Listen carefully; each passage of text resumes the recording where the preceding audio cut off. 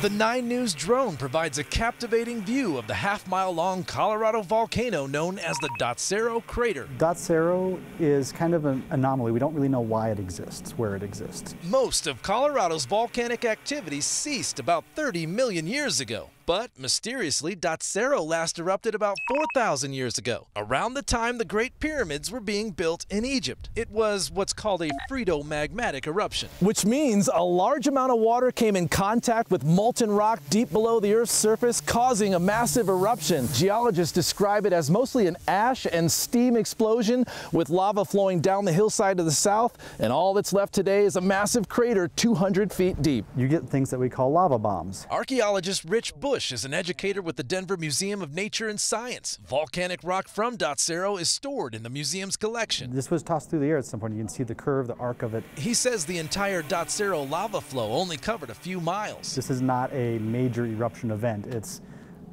Earth having a burp.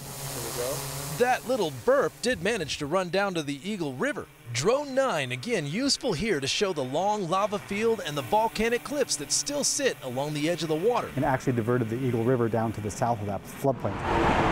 In the middle of that lava flow is Interstate 70. A highway drive through Dotsero means you are driving right over top of that 4,000 year old lava field.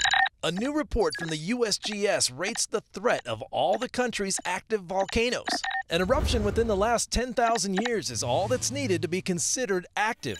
The report does not show how likely a volcano is to pop, it just assesses what may be impacted if it were to blow today.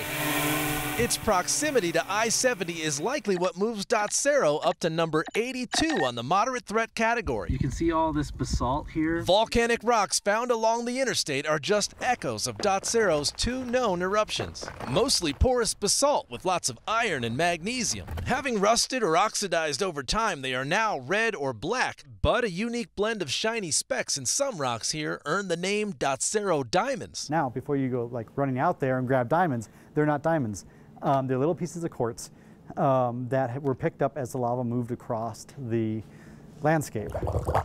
The bubbling heat of the nearby Glenwood Hot Springs fuels rumors of a hidden magma chamber lurking below this dusty part of Colorado, perhaps waiting for another chance to see the light of day. The articles and the literature I'm familiar with says the opposite. Busch says there are no remaining magma chambers under Colorado that we are aware of. Our hot springs come from water heated by the core of the earth rising up to the surface. So, with no magma chambers and a relatively quiet volcanic history over the last 30 million years, with the exception of two mysterious Dotsero burps, Busch does not expect to see this crater flare up again. Probably not in our lifetime.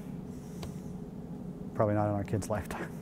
I am not holding my breath, no. From Eagle County, meteorologist Cory Reppenhagen, 9 News.